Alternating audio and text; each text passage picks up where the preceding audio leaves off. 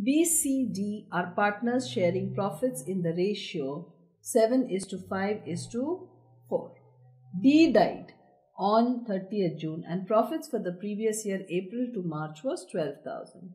What amount shall be credited to D's account as share of profits? Assuming that the same profits would be earned in the current year, we would take 12,000 is the profit for one year.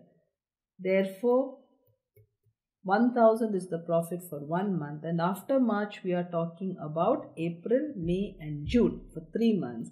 So what is the profit for three months?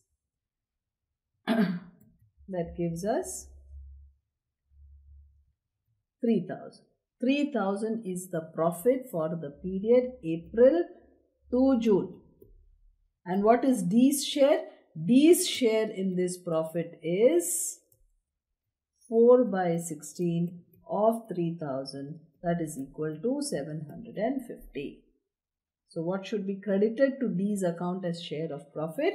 It should be an amount of rupees 750.